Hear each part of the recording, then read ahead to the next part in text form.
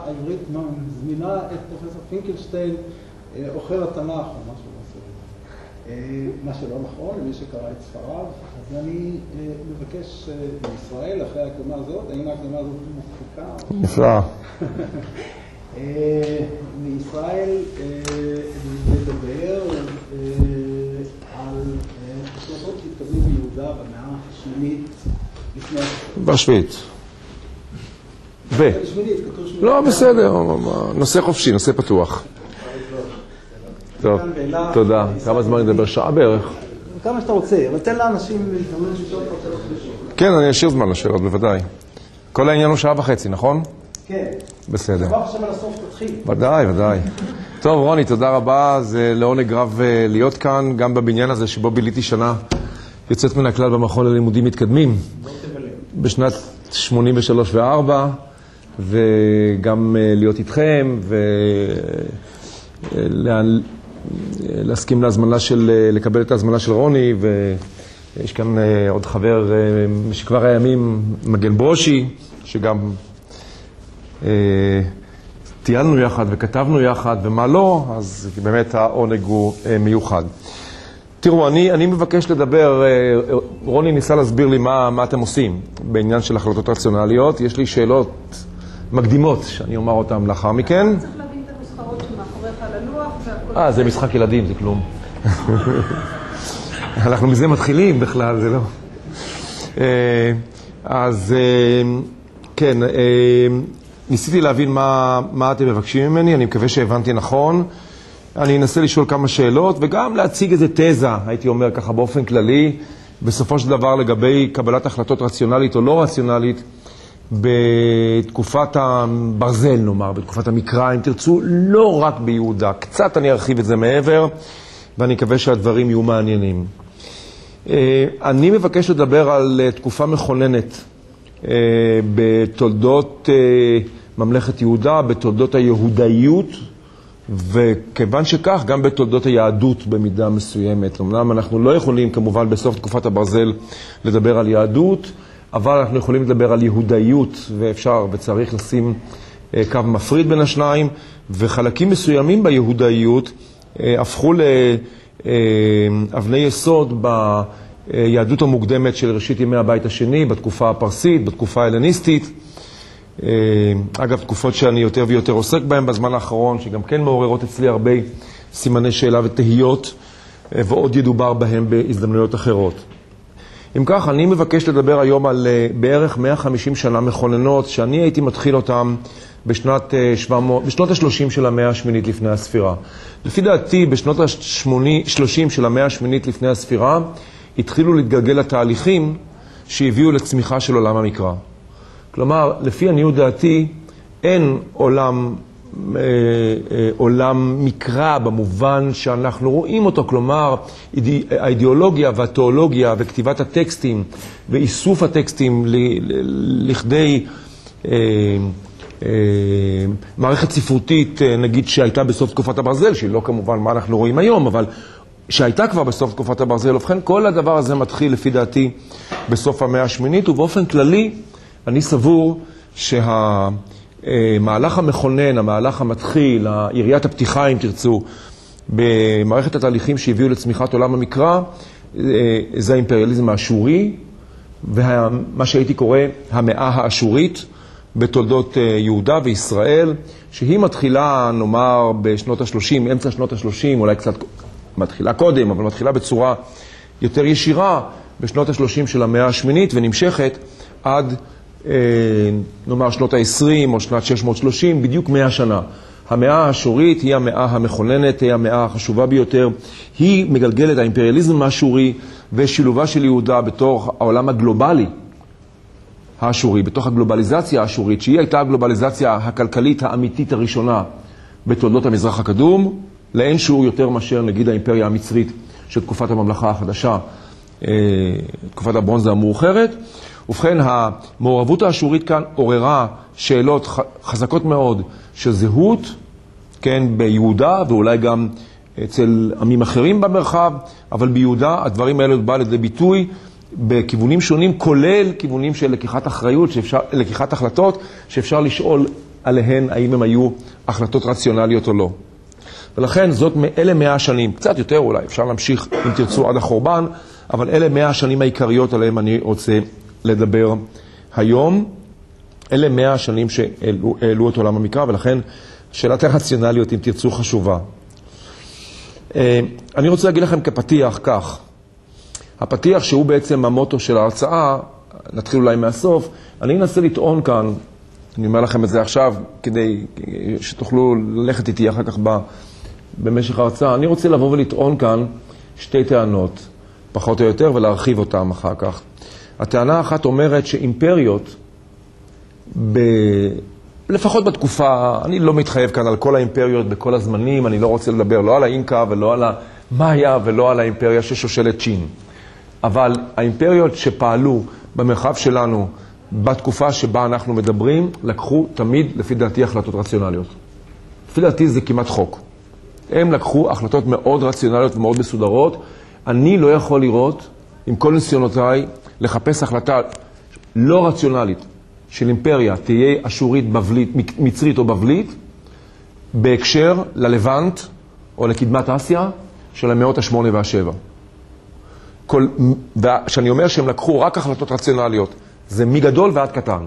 מגדול זה המהלכים הגדולים, כלומר איזה מדינה למחות מעל פני האדמה ואיזה מדינה או ישות להשאיר ולהפוך אותה לבסלית שתשרת את האינטרסים הכלכליים, המדיניים, אם תרצו, המסחריים של האימפריה, בגדול, עד הקטן, אה, כשמחליטים למחוק אה, ישות מעל פני האדמה, איך עושים את זה? איפה מוחקים עיר ואיפה משאירים עיר. הדברים האלה, לפי דעתי, ככל שאני יכול לראות, גם כאחד שמתעניין בהיסטוריה, גם כאחד שלא מתעלם מטקסטים, וגם כאחד שמכיר היטב את הארכיאולוגיה, לפי דעתי הדברים היו מאוד מסודרים. לעומת זה, אה, המדינות הטריטוריאליות, אם תרצו, אפשר לקרוא להם אולי במקרה של יהודה המדינות הלאומיות. אני נזהר מאוד מהמושג הזה, מדינה לאומית, בתקופת המקרא, כיוון שההגדרה של לאום היא מאוד מסובכת כאן ברוב המדינות שפעלו במרחב של קדמת אסיה בתקופת הברזל. אבל מדינות טריטוריאליות, נאמר. ובכן, המדינות הטריטוריאליות, תחת הלחץ של האימפריה האשורית בעיקר, ולאחר מכן קצת האימפריה המצרית של התקופה הסאיטית ובוודאי האימפריה הבבלית, המדינות הטריטוריאליות לקחו החלטות שחלקן היו רציונליות וחלקן הגדול היו לא רציונליות. ובכן, נגיד זאת התזה הגדולה, אבל לפני כן אני רוצה לשאול אתכם, ואני אנסה להדגים את זה.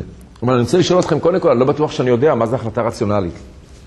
אני בטוח שאני לא מחדש לכם כאן, אבל אני באמת לא בא מתחום הרציונליות. אני עבדכם העלוב, אה, בסך הכל ארכיאולוג. ההחלטה הרציונלית היחידה שאני יכול לקחת, החלטה, לקחתי החלטה אחת בחיים מאוד לא רציונלית, שהפכתי לארכיאולוג, שהיא הייתה כנראה טעות חמורה, בצורה זו או אחרת, כל פעם שאני עובד במגידו, אה, עכשיו אה, בקיץ, והטמפרטורה מגיעה, ברגע שהיא עוברת ה-35 מעלות, והאבק והחום, אני מסתובב על התל ואומר לכולם שם, כל, כל מי שמוכן לשמוע, I should have been a lawyer. אז בוודאי שלקחתי החלטה לא רציונלית בנעוריי להיות ארכיאולוג. זה הניסיון היחיד שלי ברציונליות. אבל אם נהיה רציניים, אה, אפשר לשאול, לפי דעתי, שתי שאלות. אני, אה, הקטן, שואל שתי שאלות כאן מנקודת המבט שלי לגבי עניינים שקשורים ברציונליות. א', איך שופטים רציונליות? איך שופטים החלטה אם הייתה רציונלית או לא? האם שופטים אותה אחרי, ב- בהיסטוריה? לא החלטה בכלכלה, לא החלטה בכלכלת שוק, לא החלטה בסחר, לא החלטות אה, כאלה שאפשר, ובעולם המודרני המהיר כל כך, אה, בוודאי שאפשר לשפוט במהירות יחסית. בעולם הקדום, כשמתבוננים בעולם הקדום, האם אנחנו שופטים החלטה כזו על פי התוצאה כעבור יום, או על פי התוצאה כעבור. אלפיים שנה, כן? אלה, ולפי דעתי, גזר הדין שיינטל על ההחלטה עשוי להיות שונה אם בוחנים את ההחלטה כעבור זמן מאוד קצר, או יכול להיות, גזר דין יכול להיות שההחלטה היא לחלוטין לא רציונלית, אבל ברבות השנים, כשהתגלגל מתוך האירועים האלה, למה שהתגל, כשהתגלגלו האירועים בצורה שהתגלגלו וקרה מה שקרה, יכול להיות שאנחנו יכולים לראות את זה בסופו של דבר בצורה אחרת. אז אני פשוט שואל, איך, איך, איך, איך, איך קובעים, כן? איך אנחנו מחליטים, האם החלטות שנלקחו בתקופות כל כך מוקדמות הן רציונליות? השאלה השנייה שאני רוצה לשאול כהקדמה לא יותר, ובקיצור נמרץ, האם בכלל האנשים האלה יכלו לקח, לקחת החלטה רציונלית? כלומר, עד כמה שאני מבין החלטות רציונליות, כדי לקחת החלטה, אחד הדברים החשובים ביותר זה ידע. כלומר, אתה, יש לך מערכת של ידע, ואתה אה, מתבונן במערכת של נתונים, ואתה לוקח החלטה. אחר כך בוחנים אותך אם ההחלטה הייתה נכונה או לא. לפי דעתי, תתקנו אותי אם אני טועה, ככה הדברים נעשים, ואפשר לשאול שאלה רצינית מאוד, האם האנשים האלה בימי קדם, היו, הייתה, להם, היה, הייתה להם גישה לנתונים בכלל, כדי להכריע הכרעות מהסוג הזה. וכאן אפשר לעשות הבחנה בין החלטות אימפריאליות ובין החלטות של המדינות הלאומיות האלה, או הטריטוריאליות האלה. לפי מיטב אה, הבנתי, התשובה בחלקה צריכה להיות שלילית. כלומר, אני מפקפק, מעניין מה מגן יגיד על הדברים האלה, אני מאוד מפקפק אה, האם ביהודה, האם, האם קבוצת השלטון ביהודה, נקרא לזה המלך וסביבתו, המערכת שישבה בירושלים, נגיד ערב אה, מסע סנחריב בשנת 701 לפני הספירה, האם היה בידיהם נתונים מספיקים כדי לקחת החלטה רציונלית לגבי עתידה וגורלה של יהודה? כי אה, הממלכה הייתה מבודדת, כיוון שספק בעיניי אם ידעו פרטים פרט לידיעות הכלליות. יכול להיות שבשנת 701, אם לוקחים את זה כדוגמה, הם ידעו בוודאי שסרגון נהרג בקרב אה, כמה שנים קודם לכן. הם ידעו שיש בעיות באזורים הנידחים של האימפריה האשורית. הם ידעו שיש מלך חדש שאולי מתקשה בשלבים הראשונים אה, לייצב את שלטונו. אבל מעבר לזה, האם ידעו באיזה מהירות יכול מלך כזה להתעשת? האם הם ידעו באיזה מהירות הוא יכול לארגן אה, מסע צבאי מאוד אלים עם כל הצבא האשורי? האם ידעו את כל הפרטים של הכוח האשורי, למרות שב-701 זו לא הייתה השנה הראשונה של הופעת הצבא האשורי בארץ ישראל? האם הם, הקבוצה ביהודה ידעה בדיוק מה קרה באשדוד, נאמר, לפרטי הפרטים בשנת 711 לפני הספירה? האם הם ידעו מה קרה אני יודע, בחצור בשנת 732 לפני הספירה. אני לא בטוח. הידוע ידע כללי, ולכן אני מפקפק ב... אה, אני מעלה סימני שאלה אה, בעניין הזה, האם הם יכלו לקחת בכלל החלטה ממש רציונלית במובן שאנחנו מדברים עליה. כלומר, אני בטוח שאתם התעסקתם כאן במשך הקורס הזה, ב- ב- ב- בעיקר בדברים שנעשו בעידנים המודרניים. וכאן בוודאי השאלה הזו לא הייתה עולה. אבל לגבי העולם העתיק, ובעיקר לגבי תקופת הברזל, השאלה היא ללא ספק אה, משמעותית ביותר, ואני אחזור עליה אחר כך. כן. הידע אני חושב שהאשורים היה להם ידע הרבה יותר אה, אה, מסיבי, אולי גם בממלכת ישראל, בגלל המעורבות החזקה שלהם בעולם הסחר. שהתחילה בשנות ה-30. היו להם קשרים חזקים מאוד, פשוט הידע זרם יותר טוב שם. יהודה הייתה מבודדת. אשור הייתה לה מערכת של קשרים חזקה עם דמשק, עם הממלכות הארמיות, עם ישראל, עם הערים הפיניקיות. אה, ומשנות ה-30 של המאה השמינית, עם ערי החוף, כן, הפלישתיות, אם תרצו לקרוא להם כך, עדיין, והיה להם גם ניסיון בהכרעת המדינות הטריטוריאליות האלה בתחילת הדרך, בימי תגלת פילסר השלישי, ולכן לפי דעתי שם המערכת הייתה הרבה יותר משומנת ללקיחת החלטות מסוג זה, לפחות במאה השמינית. כן, אתם רוצים שנעצור ככה? לי אין בעיה לעצור במשך ההרצאה. זה בסדר ככה? תוך כדי ההרצאה לענות. כאן זה נוהל, אבל אתה יכול... אה, איך את... לי הכל נוח לי. קדימה. בסדר. לא, לגבי ההערה הראשונה שאמרת, איך שאתה לשפוט רציונליות בפרספקטיבה של כמה שנים, אז אני אתן דוגמה מאוד פשוטה. נגיד אחד בועט פנדל, בועט ימינה, והשוער קופץ ימינה, אפשר להגיד שההחלטה של בועט ימינה הייתה רציונלית? הוא לא יודע כלום, בהינתן שהוא לוקח כבר את ההחלטה. לא, אני חושב שזאת החלטה שאין בה, יש בה ידע? אני לא יודע, אני אדבר על ההחלטה שצריכה להיות שנובעת מאיסוף של נתונים, אם תרצו, ממה שקרוי מודיעין במובן הרחב ביותר של המילה. היום אנחנו יודעים הרבה דברים שהם לא אז. אוקיי. כן.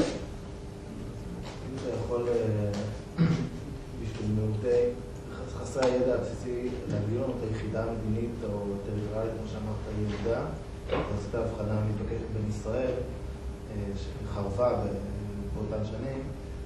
וגם להתייחס להמשך מה שאתה ענית קודם לגברת שם, אם היה ידע יותר רחב לישראל קשרי הסחר שלה, למה זה לא זלג ליהודה? אני אדבר על זה.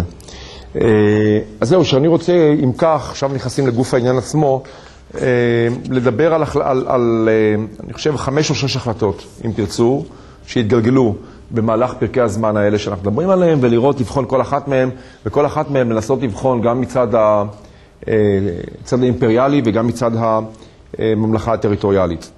ובכן, קודם כל, אה, אה, ברור לחלוטין שהדברים התחילו להתגלגל בשנת 745 לפני הספירה. אה, עד שנת 700, הרי האימפריה האשורית אה, עלתה לגדולה קודם לכן, כן? במאה התשיעית היא הייתה אימפריית העולם כבר.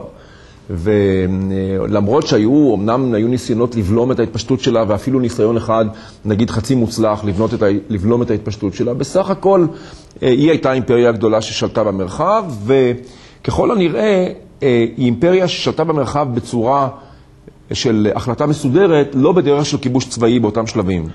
כלומר, במאה התשיעית לפני הספירה, נגיד בימי שלמנסר השלישי, ולאחר מכן בימי הדד נררי השלישי, המלכים הגדולים של אה, אשור פעל לפני כן, אה, אה, אה, ההשפעה האשורית התנהלה בדרך של הגמוניה, שהיו לה מרכיבים גם מדיניים וגם כלכליים.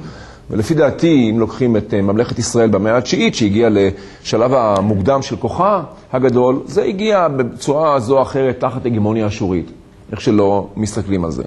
אבל בשנת 745 נפל דבר באשור, שלא היה קשור בכלל בכל המערכת הארץ-ישראלית ובמערכת הלבנט. עלה לשלטון מלך, וזה קורה לפי דעתי בהיסטוריה, אה, ובמהלכים כאלה של התפתחויות של מעצמות, עלה לשלטון מלך באשור, תגלת פילסר השלישי, שהוא אה, שינה את המדיניות האשורית ובעצם הפך את אשור לאימפריה אגרסיבית שיש לה אינטרסים בשלטון ישיר ובהתפשטות טריטוריאלית ובמידה מסוימת בהסרה של חלק, סילוק חלק מהמדינות הטריטוריאליות שעמדו בדרכה ויצירת אה, אה, שלטון אה, גדול על טריטוריות נרחבות עד גבול מצרים ומעבר לכך. כן? הוא התחיל, הוא נתן את יריית הפתיחה. עכשיו, לפי דעתי, ברגע שהדבר הזה קרה, במידה מסוימת הדברים יצאו משליטה של ההחלטות המקומיות, כן? במובן הגדול ביותר. במובן הגדול ביותר, וזה מה שאני אנסה לומר אחר כך, במובן הגדול ביותר, ברגע שנלקחה ההחלטה באשור, כן? לפי דעתי, זה לא כל כך משנה בסופו של דבר, כמעט לא משנה מה החליטו כאן. כי איך שלא היית מחליט כאן, בסופו של דבר, אם דרך החורבנות ואם דרך ההישרדות, היית מגיע בסופו של דבר לאותו מצב, כיוון שהאימפריה האשורית לקחה החלטות מסודרות. כמו שאמרתי לכם, אני לא מאמין בהחלטות לא רציונליות שהיו שם, ולכן זה מה שהכתיב. והם לקחו את ההחלטות, לפי דעתי, בדם קר. כלומר, שתו כוס מים קרים לפני ההחלטות האלה, וידעו מה שהם הולכים לעשות, ומישהו מרד נגדם, הם הגיבו, אבל גם בתגובות נגד המרידות, כולל המרידות הלא נעימות נגד אשור, לפי דעתי לא נלקחו החלטות אה, פרועות, נאמר, מן הצד האלה שפתאום עלה אדם לראש ואמר נמחה את העיר הזאת או נמחה את המדינה הזאת מהפני האדמה, בגלל שהם מרדו בנו. אלא הייתה, אה, היה כנראה איזשהו סוג של דיון מסודר, מה טוב לאשור מבחינת האינטרסים האשוריים, כן? ולאחר מכן נלקחה ההחלטה מה לעשות. ולכן, לפי דעתי, אם לוקחים את הדוגמה של ממלכת ישראל, זה לא כל כך משנה, לפי דעתי, מה ישראל, אה, כדוגמה ראשונה, הייתה עושה או לא עושה מול תגלת פילסר השלישי. גורלה נחרץ לא שתגלת פילסר השלישי הופיע בגליל בשנת 732, גורלה נחרץ ברגע שהוא עלה לשלטון והחליט ושינו את המדיניות האשורית. גורלה של ישראל נחלץ, נחרץ בשנת 745, כי לפי דעתי האימפריה האשורית החליטה להסיר מעל פני האדמה את שתי המדינות הטריטוריאליות היותר חזקות והיותר משפיעות. כלומר דמשק, במרחב שלנו, דמשק וישראל, ולבסס את ההגמוניה הכלכלית שלה על ערי החוף הפיניקיות. כן, ישראל ודמשק היו מיותרות בעיניהם, משום שאת כל הניהול הכלכלי והניהול הסחר, הם יכלו לעשות דרך ערי החוף הפיניקיות, שנתנו לאשורים משהו שלא היה להם. כלומר, ממלכת ישראל לא נתנה לאשורים שום אה, leverage, שום יתרון כלכלי. בעוד שערי החוף הפיניקיות, האשורים היו חלשים בים, כן? הם היו חזקים מאוד ביבשה, וערי החוף הפיניקיות הם שנתנו להם את הממד הימי שהם היו צריכים בשביל אותם חלקים של סחר שהם רצו לנהל. אם תרצו קצת יותר מאוחר, בימי סרגון השני עד אפילו מעבר, כן, שייט אל תוך הים, קפריסין וכדומה, ובוודאי מול מצרים, והדברים האלה היום באים לידי ביטוי בממצא הארכיאולוגי בצורה ברורה מכל הכיוונים, ממה שיודעים על קפריסין בסוף המאה השמינית לפני הספירה, דרך ערי החוף. דרך ההתנהלות שלהם, דרך אה, אוניות אה, שטבעו, אוניות פיניקיות שנתגלו אה, בים, ועוד אה, כהנה וכהנה עניינים. הפיניקים ניהלו אה, היו המכשיר החשוב ביותר במדיניות האשורית, וישראל ודמשק היו פחות או יותר מיותרות. ולכן, לפי דעתי זה לא משנה כל כך מה ישראל אה, הייתה מחליטה בשנת 732 או בשנת 720. אה, המצב השוני, השעה הסופי לא היה שונה. לגבי יהודה, אם הולכים לדוגמה השנייה, לגבי, וכאן אני פשוט קיצרתי, כי אני לא חושב שיש לי מה להוסיף על הדברים האלה. כן, אני חושב שישראל היה לה אפשרות לאסוף נתונים, בגלל שהיא הייתה מקושרת יותר טוב מאשר יהודה עם אה, אה, האזורים הצפוניים, עם חוף הים, עם הפיניקים וגם עם אשור. אבל אה, לפי עניות דעתי, ההחלטות שלה לא היו כל כך חשובות. זה היה אחרת ביהודה, במידה מסוימת. אה, יהודה, זכרו בבקשה, עד אה, אותו שלב, עד שישראל הוסרה מעל המפה בשנת 732 עד 720, אה, עם כיבוש שומרון, אה, יהודה הייתה בעצם אה, מדינה טריטוריאלית אה, נידחת באופן יחסי, השפעתה במרחב הייתה קלושה ביותר, היא הייתה מדינה שהתנהלה באזורים הפנימיים, לא הייתה לה גישה בכלל, נגיד לאזורים הקובעים, הדרכים הבינלאומיות, חוף הים, הנמלים שעל חוף הים, לא גישה ישירה. והיא הייתה בעצם, אפשר לקרוא לזה, ממלכה וסאלית של ישראל. הדברים האלה ברורים לחלוטין, ואפילו ברורים מתוך הטקסט המקראי, לפי דעתי, אם קוראים אותו היטב, אה, הדברים הם, אה, הם די ברורים. ו... אה, ויהודה גם לא הייתה, הייתי אומר, טרף כדאי, לא רק יהודה, יהודה והממלכות העבר הירדניות, שמדרום לירמוק, אינני, אין הכוונה לדמשק, אלא לעמון מואב ואדום. כאן היה סיפור שונה, כשבעצם מצד אחד הם לא הפריעו אה, לאשור, והיה להם, הם לא סיכנו את אשור, והיה להם איזה יתרון מסוים מבחינה זאת שהם יכלו לייצג את אשור, לפחות בשלבים הראשונים של ההתפשטות האשורית, באזורים שהאשורים שתו בהם פחות טוב ופחות לעומק, בעיקר באזורי הספר והמדבר. כן? לפי דעתי, האימפריה האשורית ניהלה את ענייניה אה, החל מסוף המאה השמינית ב...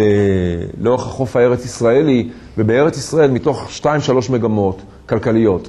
המגמה הראשונה הייתה המגמה להשתלט על הסחר הערבי, שהוא היה אחד, ה... אה, אה, אה, אחד מקורות ההכנסה החשובים ביותר. כמובן, המגמה השנייה הייתה, נוצרה, לא יודע אם הייתה, אבל נוצרה לקיים כאן, זה מה שקרה, אני לא בטוח שזו הייתה מגמה מראש. מה שקרה בסופו של דבר, שנוצרה כאן, כאן תעשיית שמן מאוד מאוד חזקה, שהיה לה כנראה ערך ב...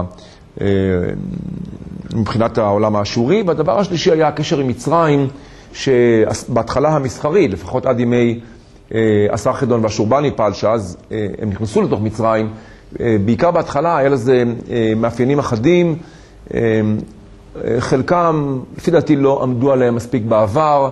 אני אתן לכם דוגמה אחת קטנה של אינטרס אשורי מובהק, שאני לא בטוח שהוא היה כמובן המכשיר, הסיבה העיקרית לפעילות שלהם לאורך החוף הדרומי, אבל הוא היה דבר בעל חשיבות. הצבא האשורי, התקיים, כל הכוח האשורי התקיים על צבא המרכבות האשורי אה, בשלבים ההם. אה, צבא המרכבות היה המרכיב החשוב ביותר, עוד, עוד מעט זה ישתנה, אבל עדיין המרכיב החשוב ביותר במערכת הצבאית של האימפריה. ובשביל חיל המרכבות הם היו צריכים סוסים, והסוסים הצפוניים לא היו טובים למרכבות, כי הם היו קטנים. אז אי אפשר היה לקחת סוסים מאוררטו ומאיראן, שהיו קרובות לאשור, ולשלב אותם בחיל המרכבות, הם לא היו שווים. הם היו צריכים סוסים מצריים, נובים, גדולים.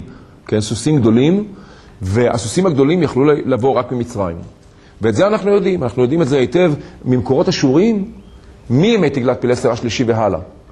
שהעניין הזה של הסוסים והבאת הסוסים היה דבר מרכזי במעורבות המצרית על גבול מצרים. ויש לכך עדויות אה, מכיוונים שונים. ולפי דעתי, יכול מאוד להיות שממלכת ישראל, למשל, שיחקה איזשהו תפקיד די משמעותי בדבר הזה לפני חורבנה, במהלך המאה התשיעית, ועוד יותר מכך בתחילת המאה השמינית. ובכן, בש... ממלכת אה, יהודה היה לה תפקיד די, יכול, יכולה הייתה לשמש תפ... בתפקיד די חשוב מול עניין בעיקר הסחר הערבי. בשליטה בבקעת באר שבע, בקיום האינטרס האשורי. ולכן, לפי דעתי, אה, ההחלטה הייתה מסודרת לא להסיר את יהודה מעל המפה. כלומר, שישבו בישיבה המכרעת אה, אה, בבירה האשורית והתלבטו, אני יודע, בחור סבד, מה לעשות עם יהודה, ההחלטה הייתה שיהודה יכולה לשמש מכשיר באינטרסים האשוריים.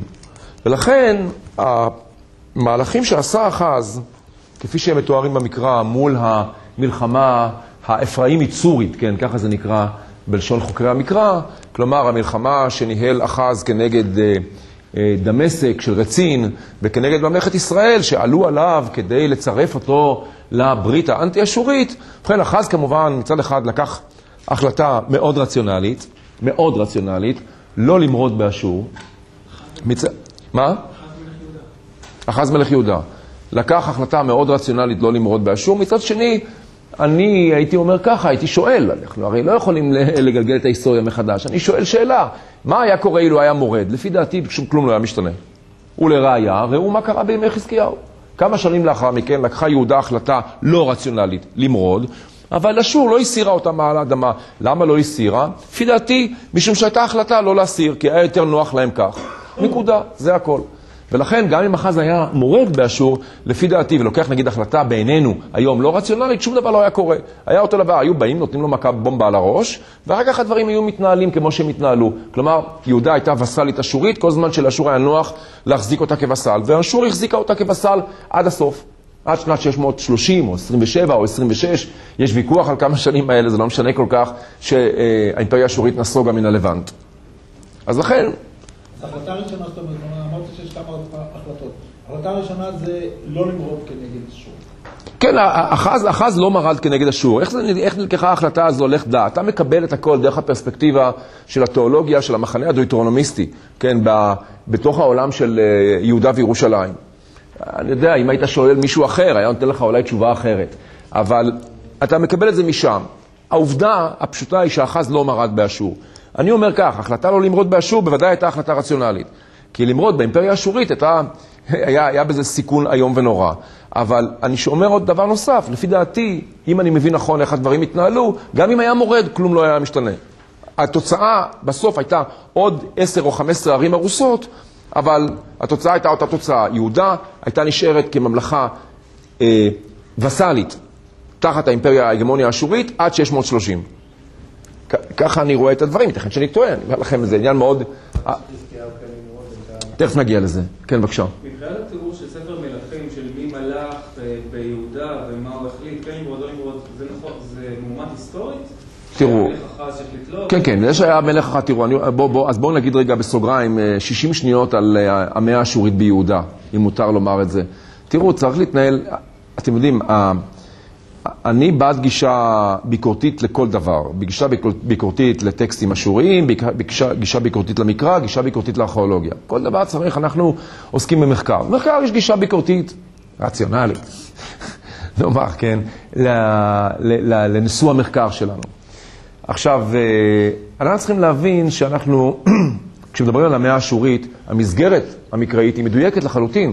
עד, עד שנה, אנחנו יודעים בדיוק מי מלך, כמה שנים מלך, עם בעיות כאלה ואחרות של קורגנציות וכדומה, אבל אנחנו יודעים את סדר המלכים, מי מלך ומתי, ואת האירועים הבינלאומיים הכלליים, כלומר, כאן היה סנחרי ושם היה סרגון, וכך קרה בשומרון, והמלחמה האפראימית סורית, אה, כמו שזה מכונה, וכדומה, אוקיי? ומי היה המלך באותו זמן בדמשק. אבל מכאן והלאה, כל התוכן הוא בסימן שאלה גדול. שימו לב בבקשה, שאם אתם מעמתים בעין, עימות, את הממצא הארכיאולוגי מול החומר המקראי לגבי המאה שנה שבה אנחנו מדברים, בהם אנחנו מדברים, אתם מקבלים תמונת ראי, הפוכה לחלוטין. המקרא אומר לכם, זה דבר שחברנו הטוב נדב נאמן כתב עליו בשנים האחרונות די הרבה, אז אני אה, מציין את זה במידה רבה בשמו ואני מסכים איתו. אה, אתם רואים שהמקרא מציג את אה, אחז כנבל וחוטא כמובן, את חזקיהו כצדיק מבחינת אה, אה, הפולחן גיבור שעמד כנגד אה, אשור ועמד על עצמאות יהודה וכדומה. והמקרא מציג את מנשה כגדול החוטאים אה, אה, מבחינת ההשקפה התיאולוגית וכגדול הנבלים, ש- ושם על ראשו את הפלטלי, כן, את האשמה בחורבן יהודה בסופו של דבר. יהודה חרבה אה, אה, כמה, אה, אה, חמישים וכמה שנה אחרי מותו. אבל הם אומרים אחרי כן, כן, זה כבר הדויטרונומיס שכותב, אותו מחבר שכותב אחרי החורבן, אומר זה הכל בגלל, בגללו, בגלל מנשה. הארכיאולוגיה מראה, עכשיו, זה, אני, אני לא בא לעשות כאן, לתת לכם כאן הערכה, זאת, זאת, זאת תיאולוגיה. רק שתדעו שזאת תיאולוגיה, כן? עכשיו, תיאולוגיה היא בסדר, אני לא, אין, אין לי דבר וחצי דבר נגד תיאולוגיה, רק שנדע שזה תיאולוגיה.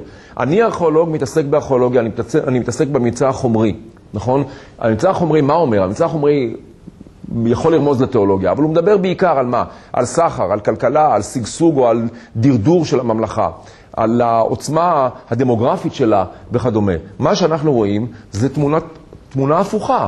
שאחז לקח, אה, בימיו יהודה התחילה לשגשג בגדול, חזקיהו לקח החלטה איומה ונוראה, עוד נדבר על זה, ולפחות בטווח הקצר, ומנשה היה אולי גדול המלכים של יהודה. מבחינת היכולת שלו אה, להשתלב בעולם הגלובלי האשורי ולהגיע לשגשוג כתוצאה מזה. אז שוב, המסגרת היא מסגרת היסטורית, אבל התוכן הוא תוכן תיאולוגי בטקסט. צריך ל... יש תוכן כמו מצור על ירושלים. כן, כן, זה, זה, זה, זה ודאי, אבל טוב, מצור כן, אבל זה שאומרים לך שיצא מלאך אדוני והיכה 180 וככה אלף במחנה אשור, זה עניין של תיאולוגיה. כן. כן, כן. אוקיי. יש, צריך להגיד עוד דבר אחד, לפי דעתי, וזה קשור עם אה, דברים שמגן אה, היה הראשון שאמר אותם לפני 33 שנה. אה, הייתה עוד החלטה, לפי דעתי, מאוד מעניינת, סמויה, שאנחנו, שאנחנו רואים אותה דרך הארכיאולוגיה ובניסיון שלנו לעשות אינטרפטציה על הדברים. עוד החלטה אחת ביהודה, שהיא הייתה החלטה מאוד מעניינת, שנלקחה אה, בתקופה הזאת, נגיד של אחז וחזקיהו בסוף המאה השמינית. אנחנו רואים בארכיאולוגיה, דרך הארכיאולוגיה, גידול דרמטי מאוד דמוגרפי ביהודה ובירושלים. בירושלים, שזה בא ממגן, כן, אה, מהעבודות שלו בשנות ה-70, בירושלים אנחנו רואים אה, גידול אה, פי עשרה, כן, של גודל העיר ולכן גם של הדמוגרפיה, אולי אפילו יותר. וביהודה אנחנו גם כן רואים גידול דרמטי מאין כמוהו, כן, מספרים מדהימים. אנחנו יודעים, אנחנו הארכיאולוגים יודעים להגדיר, הרי אנחנו לא שואלים מה זה מאה תשיעית ומה זה מאה שמינית, אנחנו שואלים מה זה, המושגים שלנו הם כאלה, כן, אה, מאוד, אה, אה, הם שונים. אנחנו שואלים, אה, מה המפה היישובית בתקופה שאנחנו קוראים לה late iron 2A, ומה המפה היישובית ב-iron 2B. אבל זה מתרגם אחר כך למאות, כן, למאות שנים, לזמן. ואנחנו רואים אה, מספרים מדהימים, בשפלה, אני יודע, אנחנו רואים גידול מהברזל 2א לברזל אה, 2ב, מילדי 35 אתרים ל-200 וכמה. שתבינו על מה מדובר כאן. יש גידול דמוגרפי מדהים. עכשיו, הגידול הדמוגרפי הזה, לפי דעתנו, אנחנו מסכימים בזה, הוא התחיל עם זה, כן? הוא בא מזה, הוא לא יכול, להיות- אין גידול טבעי כזה בימי קדם. בשום פנים ואופן, גם לא ב-300 שנה, אוקיי? ובעולם של הדמוגרפיה הקדומה, כן, פרה, פרה-פניסילין, פרה-פיל, אוקיי? כלומר, עד, עד, עד, עד ימינו כמעט. אין דברים כאלה. ולכן זה חייב לבוא או מהגירה, או מפליטים, או מהסוג הזה. וההצעה היא שפליטים מישראל אחרי חורבנה בצורה זו או אחרת באו ליהודה. אפשר לדבר על זה עכשיו הרבה, יש על זה ויכוח. לפי דעתי אין מנוס מן המסקנה הזו. והדבר המעניין שקרה, שבעצם יהודה בסוף המאה השמינית שינתה את פניה בבת אחת. כן, קודם כל היא השתחררה מהלחץ ה- הישראלי לטובת לחץ אשורי, או לרעת לחץ אשורי, זה לא משנה. אבל גם המבנה הפנימי שלה השתנה בצורה דרמטית, כן? ממדינה שבטית, כן, מאוד, דלילה ביישוב, כן, עם מרכז שעד כמה יכול היה לקחת החלטות וליישם את שלטונו על אזורי הפריפריה, אפשר להתווכח, היא הפכה למדינה ריכוזית, שההרכב הדמוגרפי שלה שונה, שיש בה קבוצות גדולות שבאו עם מסורות, כן, שהן היו מסורות לא רק שונות ממסורות יהודה, אלא עוינות למסורות יהודה. במצב כזה הייתה כאן שאלה, וכאן הייתה, היה צריך לקחת החלטה שהיא לא הייתה קשורה במה שחושבים בדור שערוקין, בחורסבד, כן? הייתה, או בננבה. הייתה כאן החלטה לקחת מה עושים ביהודה, וזה מאוד מעניין, שלפי דעתי נלקחה החלטה לרכז את אה, עוצמת הממלכה סביב המקדש והשושלת, תוך כדי משא ומתן, במרכאות, עם המסורות האחרות. ולא על ידי, נגיד, ביטולן או ניסיון לבט... להעלימן. וזאת החלטה מאוד מעניינת, שאני חושב שהיא גם כן, לפי דעתי, היא החלטה מכרעת, בצמיח... יחד עם ההגמוניה האשורית, בצמיחת עולם המקרא. אני, אני רוצה לשאול שאלה רק בשביל לחדד את, ה, את המעבר הזה. כי נדמה לי שיש לך יותר מהחלטה. זאת אומרת, דבר אחד שהוא לא בטוח אם הוא החלטה או לא, אבל הוא התקבל. שהוא? לא הבנתי. קבוצה גדולה של אנשים מגיעים כפליטים מישראל אחרי חורבנה, ומתיישבים ביהודה. כן. אתה מציג את זה כהחלטה, זה יכול להיות גם... לא, לא, לא, ההחלטה היא לא זו ההחלטה. לא. ההחלטה היא מה לעשות איתם. אבל אתה אומר שההחלטה מה לעשות איתם זה לגרום להם אה, אה, לנסות לטפח אותם סביב המרכז בירושלים. תוך כדי כיבוד כביכול של המסורות שלהם. תוך כדי לא ביטול המסורות שלהם. נלקחה כאן החלטה שהיא מאוד לא דספוטית, נאמר. להיכנס לעימות, זה ה... לא להיכנס לעימות מולם, מול מסורות שהיו מסורות מאוד עוינות. הן היו מסורות עוינות בענייני פולחן. זכרו בבקשה שפליטים שהגיעו מאזור בית אל, ירושלים בשבילם הייתה דבר משוקץ לחלוטין. המקדש החשוב שלהם היה בית אל. בית אל היה המקדש הגדול והחשוב, יחד עם אולי משהו, קפ... הקפלה המלכותית הייתה אולי בשומרון, אבל המקדש המשמעותי, זה גם יוצא מתוך התעמולה הנגטיבית הדויטרונומיסטית נגדו. המקדש החשוב היה בבית אל, הם באו עם מסורות אנטי-ירושלמיות, והם באו עם מסורות אנטי-שושלת בית דוד. וכאן נלקחה החלטה, לפי דעתי מעניינת, אה, אה, הייתי אומר, אה, כן, משרד הקליטה לקח החלטה איכשהו אה, לא ללכת אה, נגד המסורות האלה ולא לבטל אותן ולא לנסות לאכוף על האוכלוסייה הזו אה, אה, רק את המסורות היהודיות, וזו, וזו הסיבה לפי דעתי שאחרת אי אפשר להסביר את הדבר, שאתם מוצאים בתוך הטקסט המקראי את כל המסורות השליליות. רבותיי, בעולם הקדום, אתם הולכים לאימפריה האשורית, טקסטים כאלה שליליים על המלך, למשל, לא נכנסים לשום דבר, לשום מקום. תנסו לקרוא דברים כאלה. אין, זה יכול להיות, זה יכול לקרות בזמן חילופי שושלת, זה יכול לקרות בזמן שיש איזו אפולוגיה של איזה מלך שאומר שאל תחשבו שאני איזה כלומניק אחד שבא מכלום, אלא אני כזה וכזה וכזה. אבל כאן יש דבר הרבה יותר, הרבה יותר מכך, בבקשה.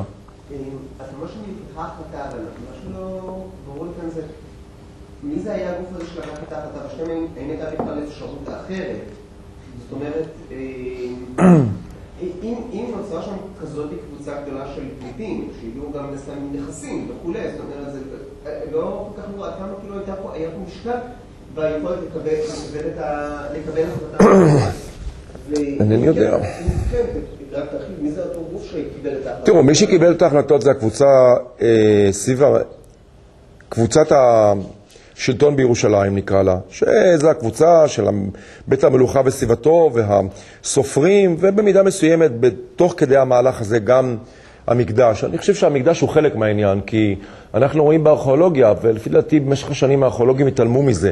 איכשהו הדברים האלה ככה טואטאו מתחת לשטיח. אנחנו רואים בצורה חד משמעית בסוף המאה השמינית ביטול מקדשי שדה ביהודה.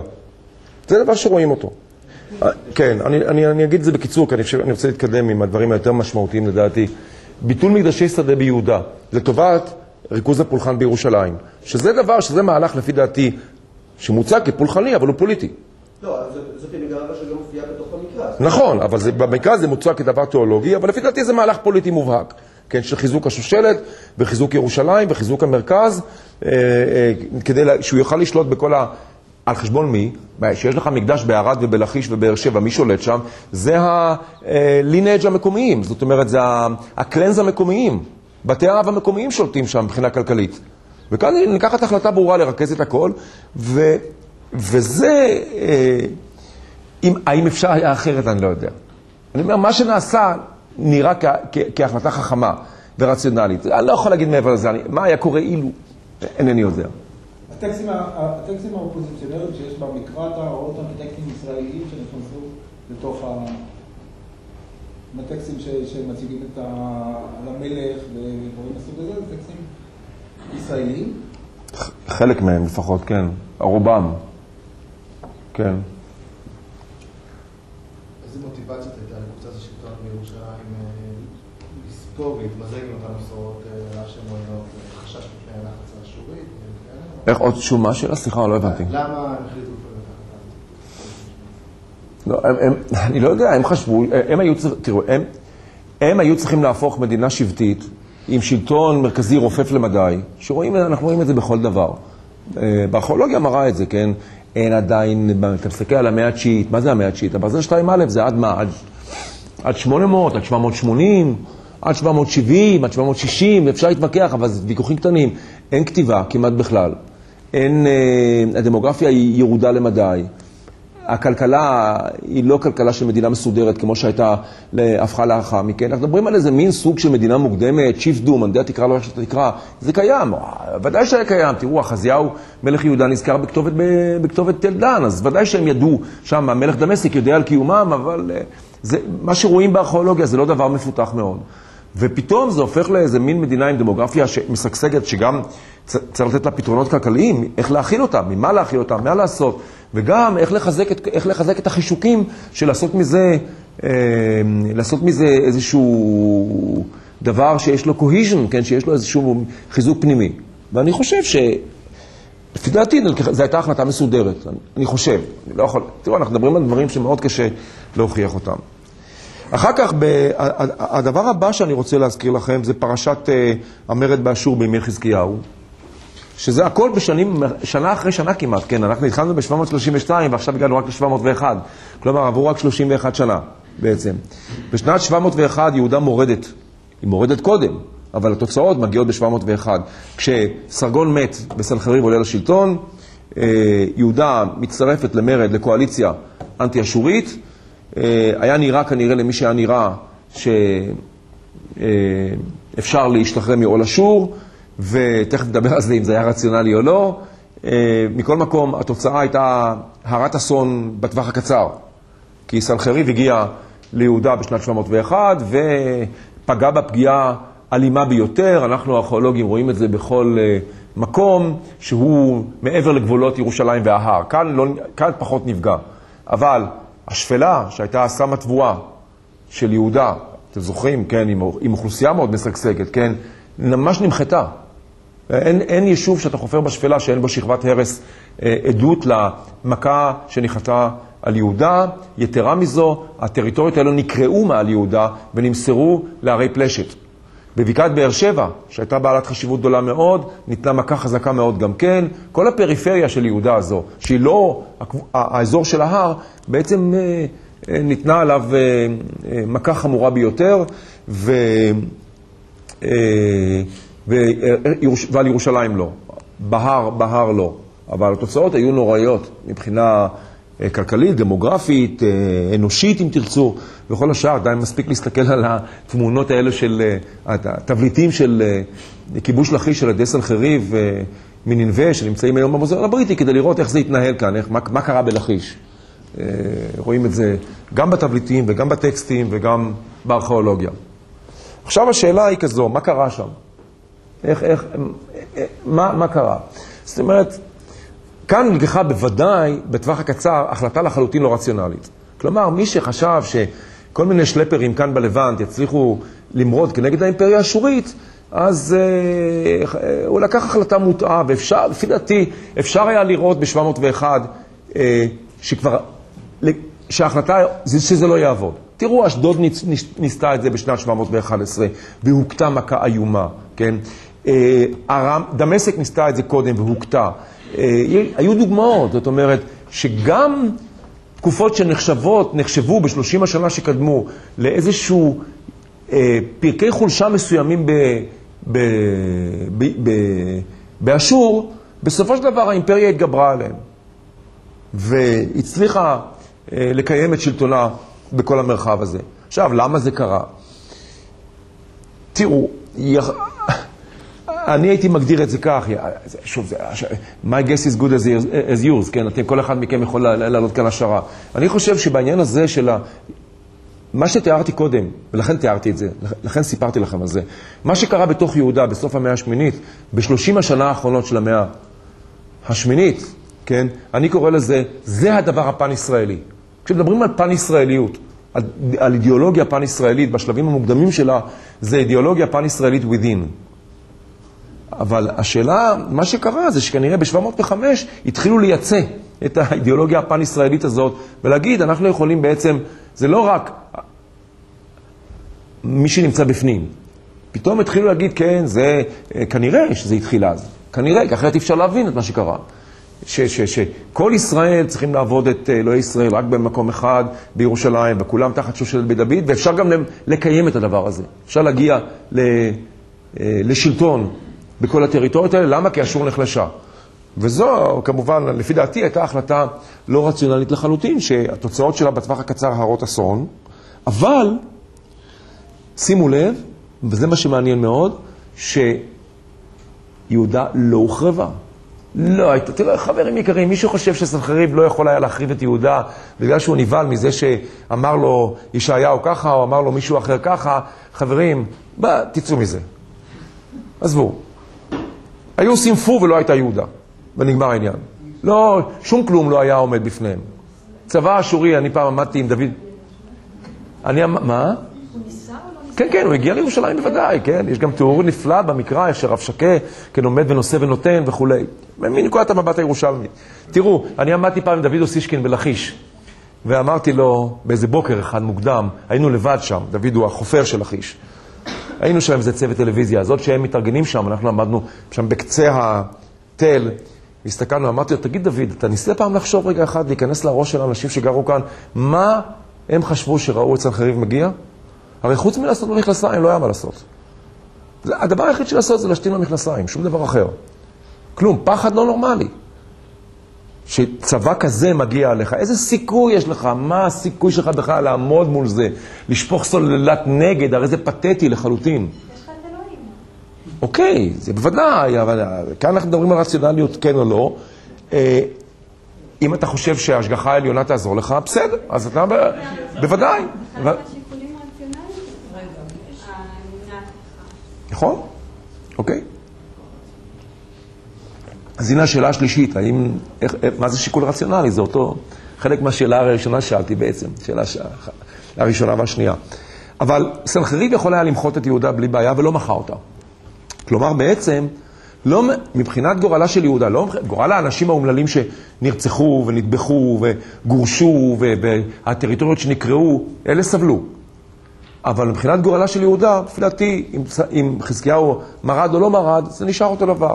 שימו לב, היה אינטרס לאשור להחזיק את יהודה בחיים, והחזיק אותה בחיים. לא. שהוא ידע שמה שהוא לא יעשה זה מה ש... יכול להיות, יכול להיות שהוא... יכול להיות. מי יודע? כאילו, אני משתתף במשחק. אם אני אצליח, מה טוב אם אני לא אצליח? כן, אבל המחיר היה, המחיר המיידי, לא המחיר כעבור 2,700 שנה, המחיר המיידי היה מחיר נורא, כן, אה, אה, שבעצם הגלגל הוחזר לאחור רק כשיהודה, כן, אה, נראתה כמו שנראה יהוא באובליסק השחור, כן, מול שם הנסר השלישי, כנועה ושוכבת על הרצפה ודופקת את הראש ברצפה. אז בעצם הדברים אה, סודרו מול הדיסקור, כן, was settled עם ה- עם האשורים. אה? של? לא להרוס את ירושלים? כי לסנחריב היה אינטרס להחזיק את יהודה כדי לקיים את האינטרסים שלו מול תעשיית אה, השמן, שכנראה כבר הייתה אז, לפחות ביהודה, מול אה, הסחר הערבי בדרום. יהודה כנועה שירתה את האינטרסים שלו. לתת מכה כן, להכניע אותה, להפוך אותה אה, דל, בוודאי, אבל לא, לא צריך להסיר אותה. למה הוא צריך ל... ל... מה הוא מרוויח מזה שהוא מסיר אותה? יש את בית ישראל ואת... בבקשה? ישראל. ישראל זה היה משהו אחר, אמרתי לכם בהתחלה, ישראל ודמשק היוו איום מסוים, כן? היה בהם כוח מסוים, הם גם לא נתנו שום ערך מוסף, הפיניקים נתנו ערך. ולכן, אגב, גם הפיניקים בסופו של דבר ניסו להרים ראש, למשל צידון ב- בימי הסרחדון, ואז ישב מי שישב, לקח החלטה לחסל את צידון. אבל לא לחסל את הפיניקים, הפיניקים המשיכו לשרת, רק העבירו את כובע, הקימו שם קודם כל אה, אה, מושבה קרס ארכדון, ושתשרת את האינטרסים עם, עם הפיניקים, האינטרסים האשורים. עכשיו, אני רוצה עוד, עוד דקה אחת, אני רוצה לומר לכם, גם כאן נכנס העניין הזה של הרציונליות בחורבנות. בחורבנות. לפי דעתי, אפשר לראות, כאן אני, אני מדבר איתכם כארכיאולוג. בשנים האחרונות, דווקא בגלל חפירותינו במגידו, אני התעניינתי בזה, כיוון שבמגידו, בפרק זמן קצר יחסית, של אה, אמ, 400 שנה, יש אה, כמה, אחד, שניים, שלושה, ארבעה חורבנות חמורים, יחסית, שחיסלו עיר. אבל אני כארכיאולוג רואה שהם לא דומים. יש אחד מהם שמחה את העיר לחלוטין. לא השאירו שם אבן. מחו אותה. יש uh, חורבן אחד בסוף תקופת הברונזה המאוחרת, באמצע המאה ה-12, עכשיו התאריכים הם ברורים כי הם אה, מגובים אצלנו בקריאות של רדיו קרבון, פחמן 14. Uh, אז יש שם חורבן אחד שאתם רואים שבאו ונתנו מכה באזור אחד ולא באזור אחר. באזור הציבורי כן, באזורים של המגורים לא. מישהו חשב על הדבר הזה. לא הדליקו את כל הדבר. אמרו, את זה מדליקים ואת זה לא. אתה רואה את זה. אחר כך אתה בא, החורבן, יש עוד חורבן אחד שהוא אחרת. יש החורבן האשורי, ששם היה ההפך. הדליקו את אזורי המגורים ולא הדליקו את מבני הציבור. כלומר, מישהו לקח החלטה, אני מדמה את זה למה? עכשיו, עוד דבר, אנחנו מדברים על החורבנות האשוריים.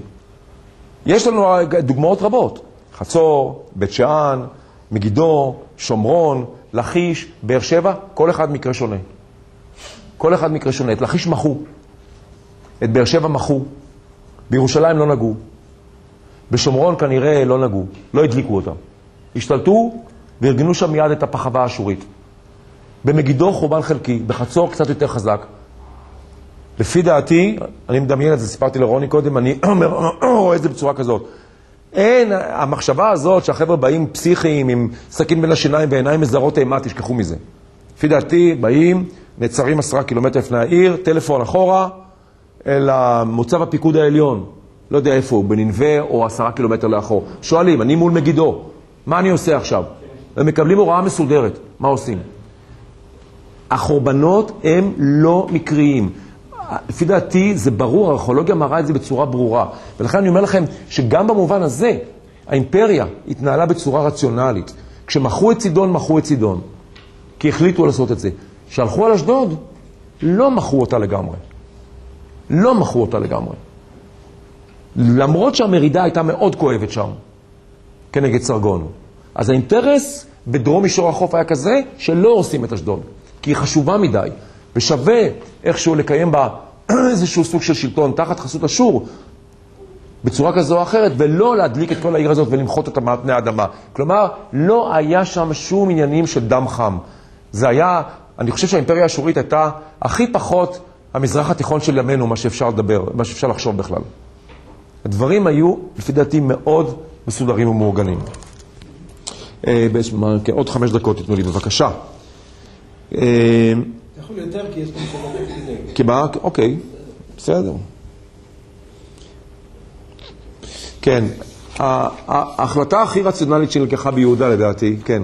שאלה בהמשך להבחנה שהם עשו בין חורבנות שונים. יכול להיות שאחד השיקולים שלהם היה כשמכריזים עיר מסוימת, איך זה ישפיע על העיר הבאה שהולכים להטיל עליה מצור או להתייחסה? כלומר, אם אנחנו נשמיד את זה, אולי זה ידרבן אותם להיכנע? לא בטוח. לא בטוח. אני חושב שלא הייתה להם בעיה להכניע כל אחד. זה זה אני מבין. כן, הם החליטו... אולי גם זה היה שיחק משחק, ובאיזה אזור הדבר הזה יושב, על איזה דרכים, מה האינטרס הכלכלי, מה האינטרס הסחר וכדומה, והאם אפשר להחליף עיר במקום אחר. הם, הדברים היו, אני, אני חושב שהם נלקחו בהחלטות מסודרות נלקחו. והעובדה שבאותו מהלך, כן, רואים התנהגות שונה לחלוטין של הצבא האשורי מול ערים שונות.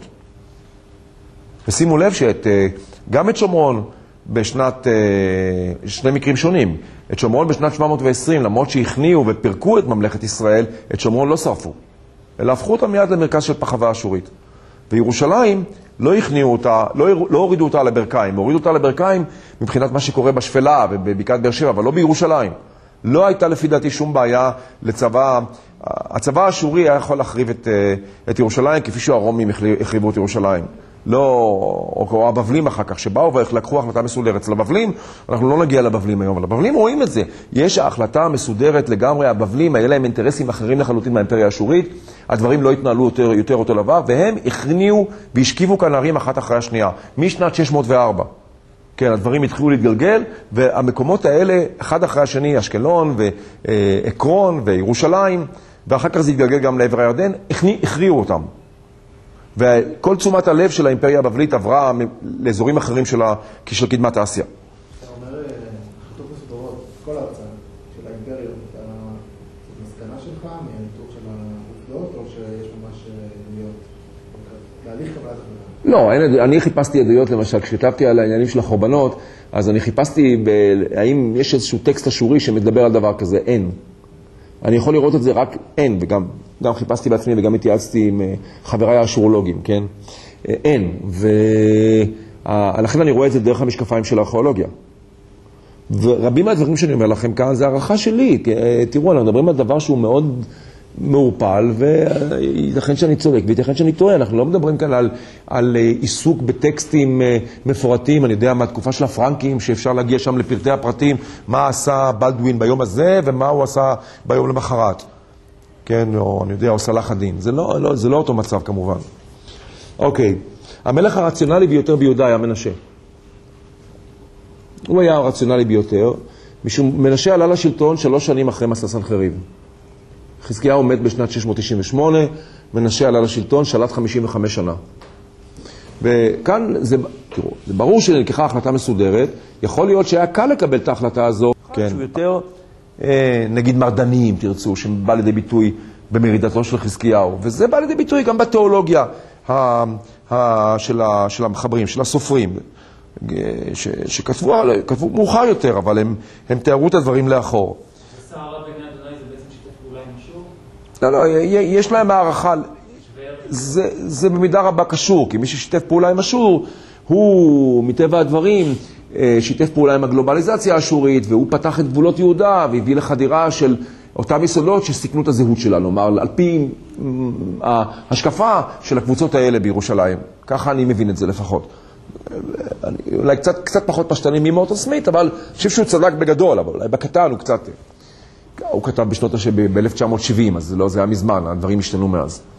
אה, בכל אופן, אה, אני חושב שמה שקרה, יכול להיות שמה שהקל על מנשה זה שבעקבות מסע סנחריב, אולי גם בהתערבות, אם בהתערבות האשורית או אם לא, אנחנו לא יודעים את הדברים האלה. תראו, אנחנו יודעים, למשל, יותר מאוחר, כן, אה, אחרי הריגתו של יאשיהו, כן, אז המצרים מחליפים מלך בירושלים. אנחנו לא יודעים מה האשורים עשו בירושלים בשנת 701, ואנחנו לא יודעים מה הם עשו ב-698, ולמה מנשה עלה לשלטון ולא עלה מישהו אחר, בן אחר של, של, של, של חזקיהו. הדברים האלה הם נעלמים מאיתנו, ואיך הדברים התרחשו. אבל זה ברור שמנשה מייצג בכל המהלכים שלו קו של שיתוף פעולה, מחוסר ברירה כמובן, עם אשור, שהביא בסופו של דבר תועלת גדולה ליהודה, כשמסתכלים על זה לא במשקפיים תיאולוגיות, אלא במשקפיים ארכיאולוגיות.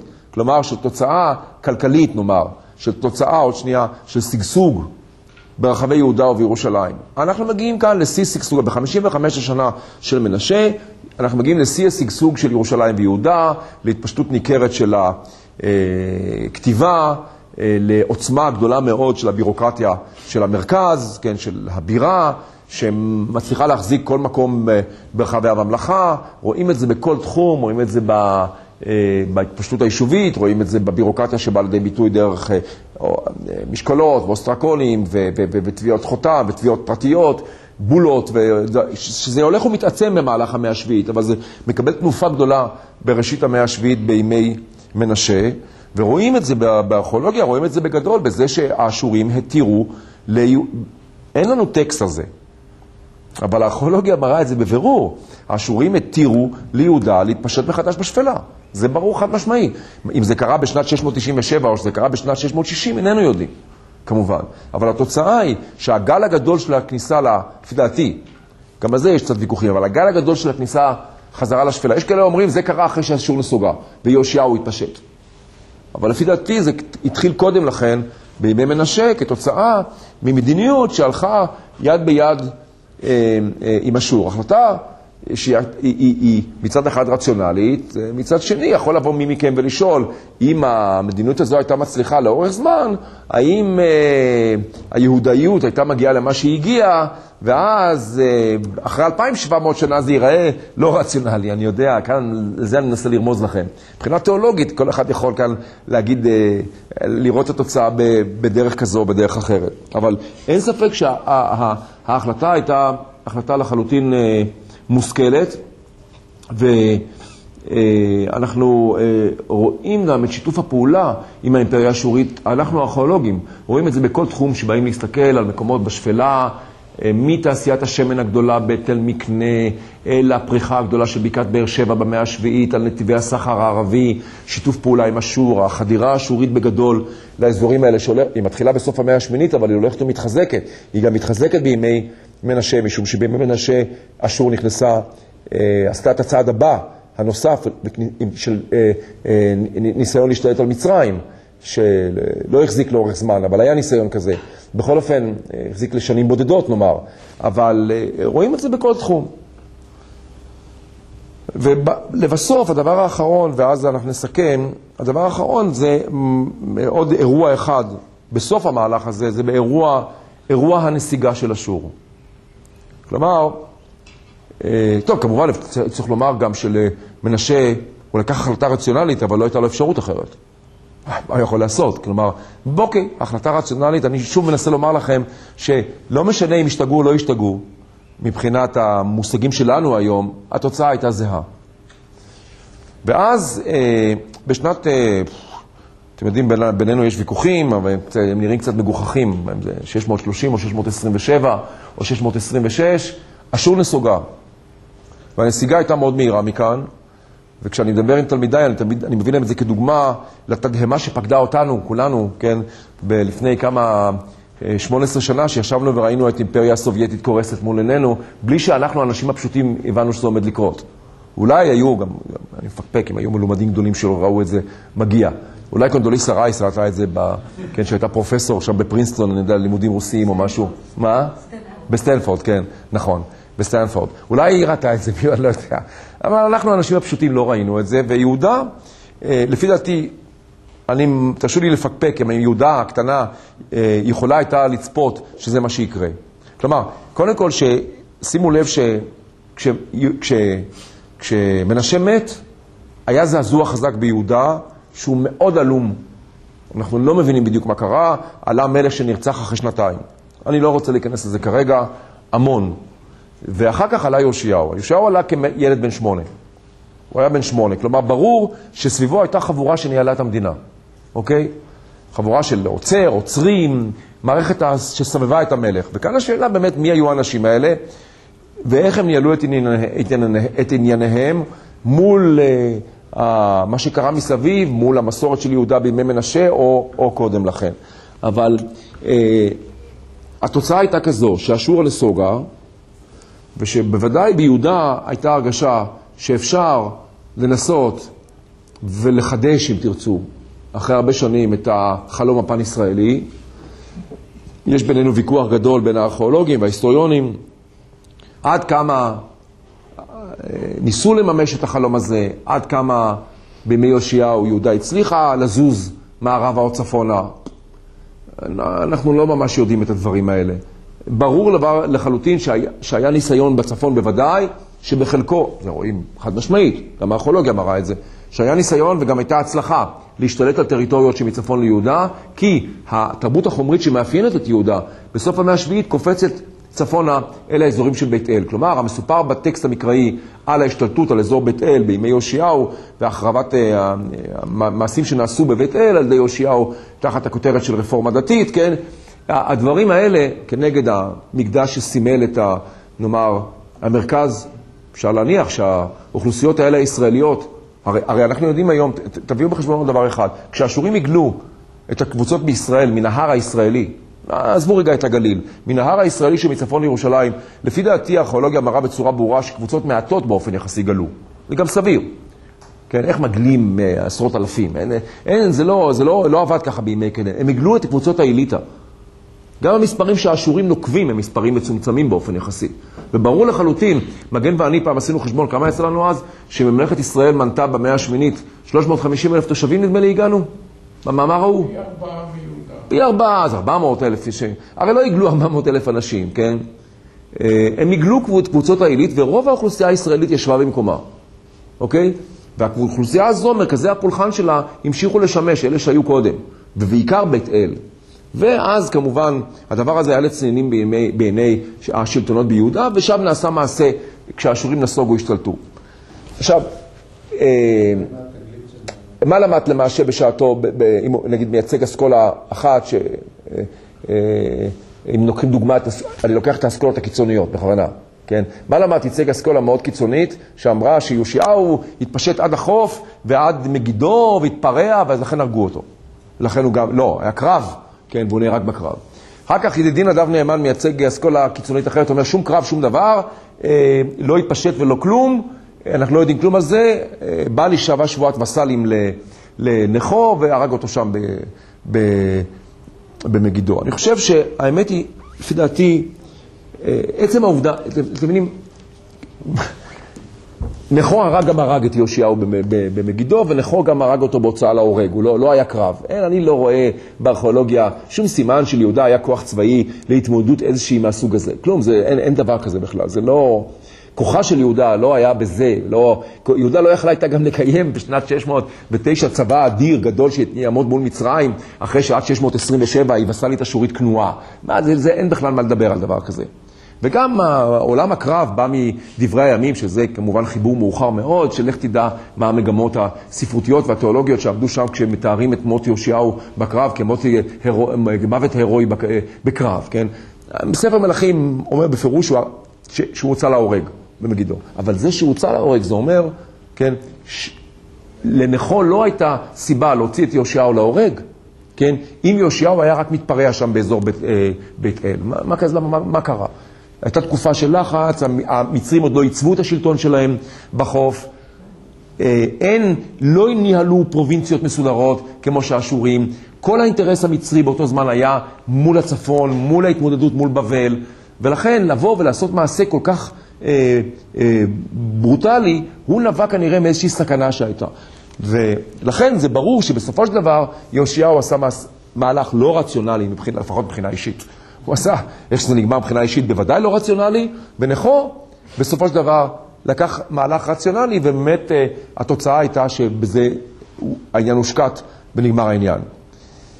אה?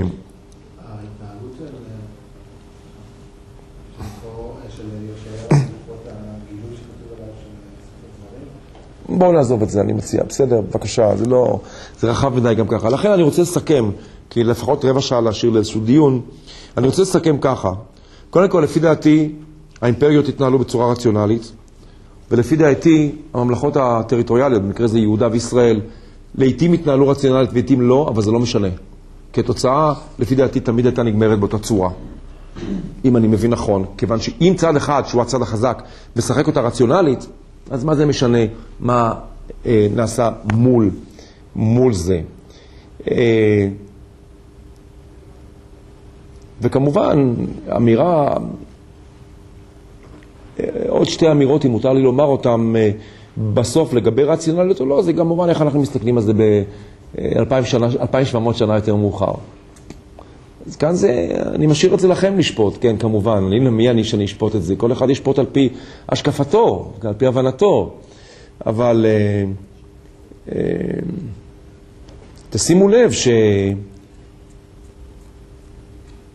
שיהודה במאה האשורית עמדה, ואחריה עמדה מול שלוש שאלות. הייתה צריכה לקחת החלטות על פי שלוש שאלות. וזה טריטוריה, גלוב, גלובליזציה וזהות, לפי דעתי. כשהיה ברור, וזה, היום, אני לא יודע אם זה היה ברור להם, זה ברור לנו, אני חושב צריך להיות, ורואים את זה גם אחר כך, שהדברים האלה כולם, שלושת ההגדרות האלה לא עובדות יחד. וצריכים לקחת החלטה לאיזה כיוון הולכים. כי מי שהולך על טריטוריה, הוא, או על גלובליזציה, הוא לוקח החלטה שיש לה משמעות שלילית לגבי הזהות. מי שלוקח החלטה חזקה לגבי הזהות, יש לה משמעויות מפליגות אחרות. ואנחנו, איך אנחנו נשפוט מה נכון ומה לא?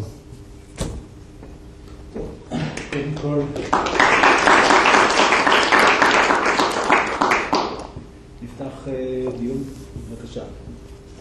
שמי אלכסנדר רופא. אני מכיר אותך. גם קורא את מאמריך. בשקיקה. כמובן אני לא אעיר על הדברים שבאמת לדעתי משכנעים, כגון התיאור של מנשה,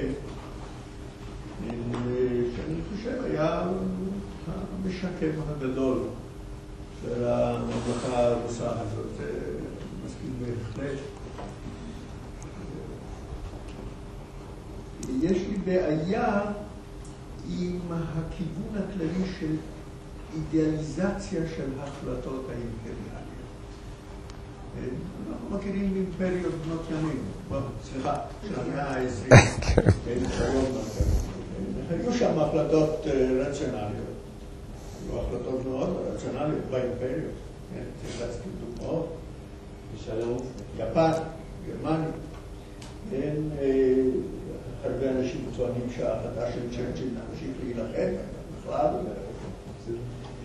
אה, אם אני חושב על המעט שאני יודע על השוב, כן, אה, המסע הזה של סרגון אה, הוא נפל שם, תבוסה כזאת שאפילו את הפגע שלו לא מצאו, או המעשה ההפוך שעשה סנחריב ב-689, החריב את בבל, הציף אותה, ואחר כך העיק עליו ועל בניו, כן, ונחשב לחטא. אז נדמה לי שמהלכים אי-רציונליים קיימים גם בממלכות הגדולות.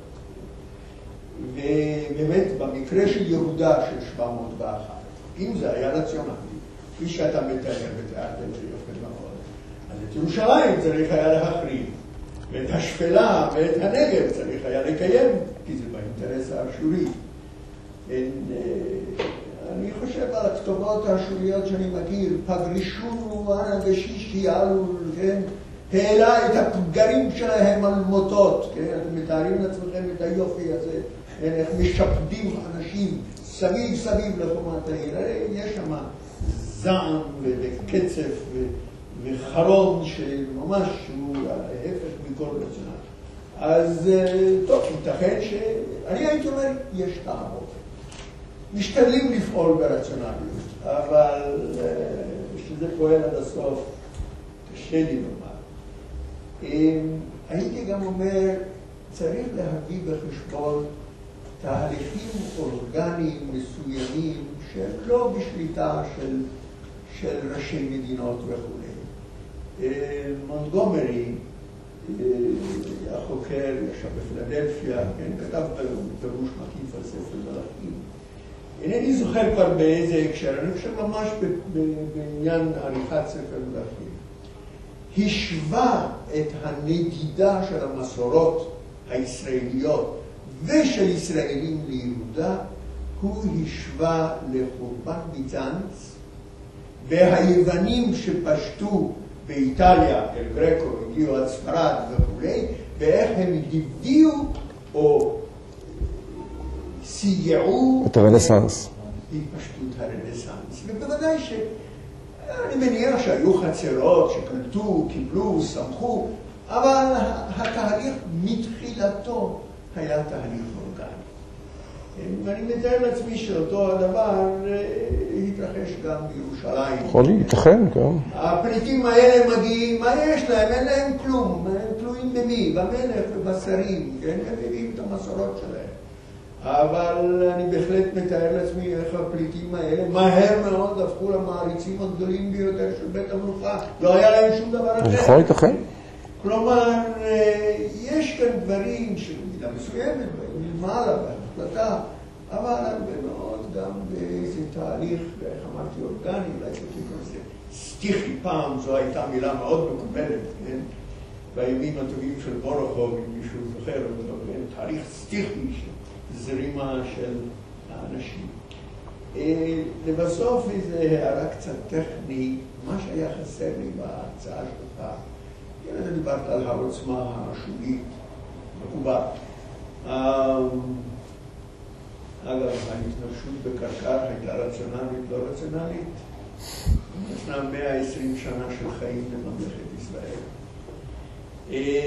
אבל מה שהיה חסר לי שלא נתת איזה שהם מושגים ממשיים, מה היה הצבא האשורי לעומת צבא מצרי, או החיילים המסכנים של יאשיהו. זה היה חסר. כמויות. טוב. אני אשיב עכשיו, כן, מילה או שתיים? אני, אני מקבל בסופו של דבר, אני מקבל ודאי מה שאתה אומר לגבי הסטיחיות או האורגניות, כי אנחנו לא יודעים, יכול להיות שהזרימה הזו היא נבעה גם מזה ש... מההחלטות של קבוצת השלטון בירושלים שהקלו על הדבר הזה. לגבי החלטות רציונליות, אני סייגתי את דבריי בתחילה ואמרתי שאני מתכוון רק להחלטות שנלקחו לגבי הלבנט וקדמת האסיה ולא לגבי כל אימפריה בכל תקופה. בוודאי, אני מסכים במאה אחוז, בוודאי לא במאה ה-20 ובוודאי אפשר לקחת גם החלטות יודע, על האימפריה הרומית לשאול שאלות ועוד כהנה וכהנה וגם על האימפריה האשורית, כולל החלטות שנלקחו באחריתה. וכולל החלטות שנלקחו באימפריה המצרית, ללכת להילחם בקרקמיס, זו החלטה רציונלית, כן, גם כן אפשר לשאול כמובן. אני מקבל מה שאתה אומר כאן, בוודאי.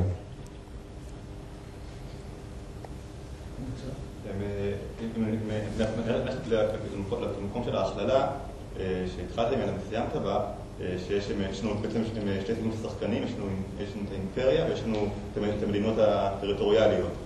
ויש להם בעצם שני אפשרויות, או לתקוף ולהחריב מהצד של האימפריה, או לשתף פעולה או למרוד מהצד של המדינות הטריטוריאליות. בעצם המדינות הטריטוריאליות בכל מקרה, המדינות האימפריאליות בכל מקרה יצדקו, המדינות הטריטוריאליות בכל מקרה או שהם יטו בטוח, כי אין להם שום אינפורמציה, או שהם יטו במקרה של מרידה. ניקח את הכיוון של האחרונה, וכמובן שיש כל המקרים שהאימפריה עשתה טעות או שיצא מערב מוצלח. אבל בעצם הם...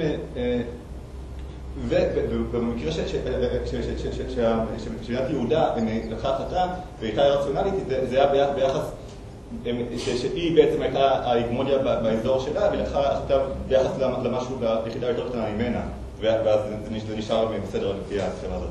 ובעצם זה יוצא ש... אפשר לקחת את זה הלאה ולהגיד שאימפריה אף פעם לא תיפול מבחוץ. כל נפילה של אימפריה תהיה מזה שהיא קורסת מבפנים, כי אחרת כאילו... אני לא יודע, אני לא... אני לא חושב שזה נכון להגיד ככה, אני לא חושב שזה נכון אפילו להגיד ככה לגבי האימפריות שאנחנו מדברים עליהן. האימפריה האשורית בסופו של דבר היא נפלה גם מלחצים חיצוניים וגם מלחצים פנימיים. אבל לא, אני לא חושב שאפשר, זו ההכללה שלא הייתי עושה. כן, אני אומר, ההכללה האחרת עשיתי אותה כ... אני חושב שבמקרה המסוים שדיברתי עליו, אפשר לעשות את ההכללה הזו. לא הייתי חורג ממנו. נוצרת החלטה על גיבוש וכינון של זהות, שאתה אמרת שנלקחה החלטה כזאת, אבל אני חושב שפחות פירטת אומרת, לגבי אתה כן מצפה מלחמה, לא מצפה מלחמה, אנחנו מבינים איך זה הולך, אבל איך מחליטים לעצב ולגבש זהות, זה דבר שהוא נראה קצת יותר... לא, לא, כן, אני לא חושב שישבו ואמרו בואו נגבש זהות, אבל לקחו כמה, לפי דעתי, מה שאנחנו רואים ביהודה במאה השמינית, זה קודם כל החלטה לרכז את הפולחן, זה כן. המקרא מדבר, הטקסט, הטקסט המקראי, שהוא כמובן משקף תקופה יותר מאוחרת ויש כאן רפלקציה לאחור, אבל הוא מדבר על איזה מין רפורמה בימי חזקיהו, ואתם יודעים שהרבה שנים הארכיאולוגים ניסו להתמודד עם עניין הרפורמה הזו בחפירות במקומות שונים, והיו כאלה שאמרו, חוקרי המקרא והארכיאולוגים נחלקו לשניים. כאלה שאמרו, לא הייתה בכלל רפורמה, זה הכל בא מתוך התיאולוגיה של המחבר, ואחרים אמרו, יש עדויות לרפורמה. לפי דעתי, אם מסתכלים על עדויות בצורה קרת רוח, שוב, ולא חושבים שיש כאן איזה מין להט דתי, אלא החלטה פוליטית מס... מסודרת, כן, ביטלו, ברור לחלוטין, ורואים, יש, אח... יש אחידות בין uh, מה שמתרחש באותם, אנחנו מכירים שלושה מקומות שיש מקדשים ב... במאה השמינית, והם נוסדים במאה השמינית. כלומר, אנחנו לא מכירים אף מקדש למשל במאה התשיעית ביהודה. אולי היו, אולי לא היו, אנחנו לא יודעים. אני לא אומר שלא היו, אני אומר לא יודעים. בשמינית יש מקדשים שלושה שנחפרו. ושלושתם לא הגיעו לשנת 701, אוקיי? הם הגיעו כמעט לסוף המאה השמינית, אני לא רוצה כאן להיכנס לפרטים של כל אחד ואחד מהם, באר שבע, לכיש וערד, הם לא מגיעים ל-701. אז כאן ברור שנלקחה החלטה מסודרת, אני חושב מסודרת. עכשיו, למה, למה היא נלקחה? כמו שאמרתי לכם, יש לזה עניינים כלכליים מאחורי זה, ועניינים של חיזוק העוצמה של השושלת, דרך השלטון בירושלים ובמקדש וכל השאר. אבל זה נעשה. אגב, שימו לב, שמול שלושה מקדשים, במאה התשיעית, אנחנו לא יודעים מספיק על יהודה. כי לא בכל המקומות שנחפרו היה יישוב במאה התשיעית. ולא בכל, יש, נגיד, מספר האתרים מהמאה התשיעית שנחפרו הוא קטן באופן יחסי. נגיד בשפלת יהודה, מה אנחנו יודעים על המאה התשיעית? בית שמש ולכיש, פחות או יותר. בבקעת באר שבע, ערד ובאר שבע. אבל על המאה השמינית והשביעית אנחנו יודעים המון. ועל המאה השביעית עוד יותר מאשר על המאה השמינית. ושימו לב, וזה לא יכול להיות מקרה, שבמאה השביעית אין אף מקדש. לכל אורך המאה השביעית.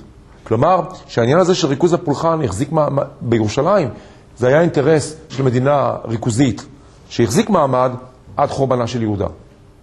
אפילו שהיו עליות וירידות מבחינה, נגיד, של קבוצות ששלטו בממלכה. מה? כן, אבל בסדר, אז זה להיבט הזה, אבל להיבטים היותר טקסטואליים, זאת אומרת, אתה רק דיברת על זה של מפנימים מסורות ודברים מהסוג הזה. איך הדברים האלה עושים? תראו, אני אגיד לך, אני... אם אני לא טועה, פרופסור רופא מדבר על זה שנכנסו, הגיעו כהנים מהצפון והם נכנסו לתוך המקדש הירושלמי והם חלק מהמסורות שלהם נכנסו פנימה. פרופסור רופא מדבר על מסורות אפראימיות. כן, כן, כן. כן. הם באו לירושלים, שבאו כהנים, שבאו כהנים, בתקופה הפרסית באו. ורק אז נכנסים אותם מסורות? כן, אני חושב שמבית אל, מתי אחד בא בית אל לדעתך? אתה עוד מקבל את התאריך של שנת 500? לא. לא? אלא? לפי דעתי בית אל, אה, אה, דווקא הדברים האלה נכנסתי אליהם בשנים, בחודשים האחרונים, די חזק. לפי דעתי, ש... טוב, כאן אנחנו מגיעים למשהו אחר לחלוטין. ככה מגיעים לאיך הארכיאולוגים מפרשים מבצע ארכיאולוגי. כלומר, הארכיאולוגים בדור ההוא פירשו את הממצאים בבית אל על פי מה שהם חשבו שצריך להיות, על פי העדות המקראית. כלומר, הם קיבלו למשל את הופעתה של בית אל ברשימות המקראיות של אה, עזרא ונחמיה כראיה ליישוב במאה החמישית. זה בעיניי לא קיים. אני, זה בעיניי לא עומד הדבר הזה. ולכן, אני חושב שאם מסתכלים בקור רוח, בית אל קיימת בגדול בסוף תקופת הברזל, ונמשכת אל המאה השישית. בצורה זו או אחרת. יש, יש יישוב במאה השישית, יש לך עדויות אחדות במבצע החומרי. אין בבית אל יישוב של ממש בתקופה הפרסית. יותר מזה אני לא יכול לומר. ויש שוב הלניסטי. יותר מזה אני לא יכול לומר. לא, אבל מה, מה שהייתי אומר לגבי השאלה שלך זה דבר כזה. יש לי עוד כמה דקות. מה? מה? מה? אחת? מה שאומרים בירושלים, כמה אחדות? כשלוש לפי השעון שלי. שלוש אחדות. כן. אוקיי. אה, תראו, לפי דעתי, כאן אני על קרקע הרבה פחות בטוחה מאשר, מה שאני אומר על העניינים של ריכוז הפולחן, לפי דעתי אני על קרקע בטוחה, לפי דעתי הארכיאולוגיה מראה את זה בצורה די ברורה, ולפי דעתי כל מי שאומר אחרת, הוא טועה, כולל חלק מחבריי. כן, כן, אין כאן, אני כאן, ב, ב, יש לי השקפה שונה מחלק מחבריי הקרובים ביותר. אני לא, לא, לא מסכים איתם, נקודה. אני חושב שמסתכלים בקור רוח על הממצא הארכיאולוגי, בלי יותר מדי פרה-קונספציות, כן? זה, זה מה שהממצא מראה. עכשיו, לגבי העניין של שילוב המסורות, אה, אני נמצא על קרקע הרבה פחות בטוחה. לפי דעתי, השאלה שנשאלה בעבר לא הייתה נכונה. כלומר, תשימו לב, קודם כל, היו, היו הרבה הנחות לא נכונות בעבר, בכל השאלה הזאת. ואת השאלה הזאת צריך היה לפרוץ. אני דיברתי על זה לפני איזה שנה כאן, בסדרת מדוע, שהייתה כאן בבניין הסמוך. לפי דעתי, תראו, קודם כל, ההנחה הראשונה הלא נכונה הייתה שהגושים האלה, שה... משנות ה-20 של המאה ה-19, של, של המאה ה-20, סליחה, כינו אותם משנת 1926, ליאונרד רוסט, כינו אותם, כן, ההיסטוריה של עלייה דוד לשלטון וירושת הכס, כן, שני הגושים האלה, שהם נכתבו במאה העשירית או מיד לאחר מכן, והם התעמולה והאפולוגיה, וכל הדבר, זה, זה, לא, לא, זה לא רציני משתי סיבות. א', אנחנו יודעים היום, וזה דבר בסיסי מאוד במחקר שהארכיאולוגיה הציבה מול חוקרי המקרא, ואין מנוס ממנו, ואין דרך לברוח ממנו, ואם כל ניסיון לברוח ממנו ייתקל באופוזיציה חזקה ביותר. מה? שאין כתיבה עד סוף המאה השמינית. נקודה. חובת, אתם יודעים, יש, אם הייתי אומר את האמירה הזאת בשנת, אם הייתי אומר את המשפט הזה בשנת 1890, חובת ההוכחה הייתה עליי.